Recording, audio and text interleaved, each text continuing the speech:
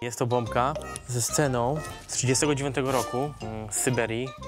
No, chciałem tu jak najbardziej odbić ten, ten, ten minus 40, minus 50 stopni syberyjskie jako przez e, dynamiczne pociągnięcia pędzla.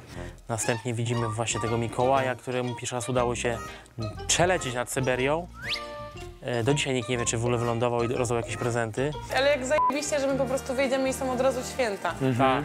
Ja pierdzielę, to, jest, to nie jest tak, że my wychodzimy i w ogóle super, bo będziemy spędzać czas, tylko od razu są święta, takie bang!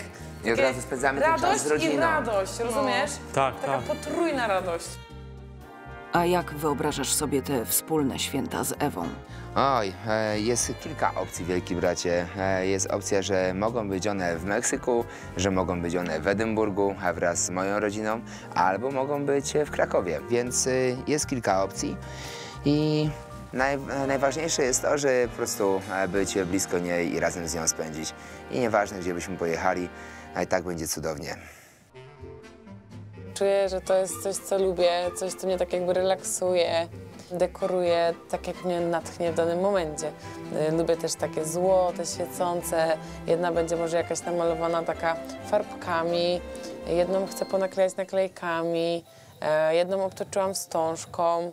No tak po prostu, żeby każda była inna. O, i fajnie to wygląda nawet. Lepiej. Wieś tańczy i śpiewa.